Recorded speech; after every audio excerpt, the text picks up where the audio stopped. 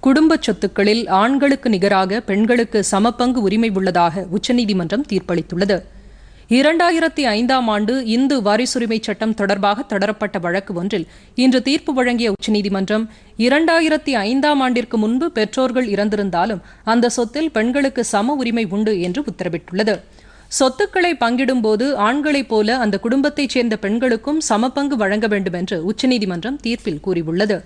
தமிழகத்தில் ஆயிரத்தி தொள்ளாயிரத்து எண்பத்தி ஒன்பதாம் ஆண்டில் இயற்றப்பட்ட சட்டத்தின்படி பெண்களுக்கு சொத்தில் சம உரிமை வழங்கப்படுவது குறிப்பிடத்தக்கது.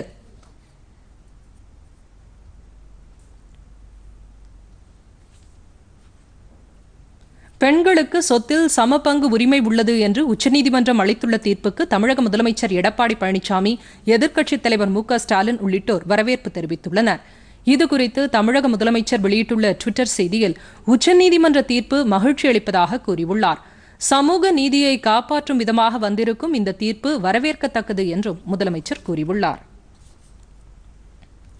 பெண்களுக்கு சொத்தில் சம பங்கு என்ற சட்டம் முப்பது ஆண்டுகளுக்கு முன்பே ஆயிரத்து தொள்ளாயிரத்து எண்பத்தி ஒன்பதாம் ஆண்டு திமுக ஆட்சிக் காலத்தில் கொண்டுவரப்பட்டதாக அக்கட்சியின் தலைவர் மு க ஸ்டாலின் தெரிவித்துள்ளார்.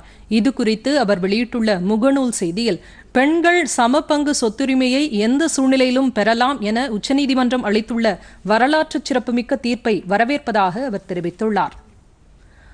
பாமக நிறுவனர் ராமதாஸ் மற்றும் மதிமுக பொதுச் செயலாளர் வைகோ மார்க்சிஸ்ட் கம்யூனிஸ்ட் கட்சியின் மாநில செயலாளர் கே. பாலகிருஷ்ணன் ஆகியோரும் உச்சநீதிமன்ற தீர்ப்பை வரவேற்றுள்ளனர்.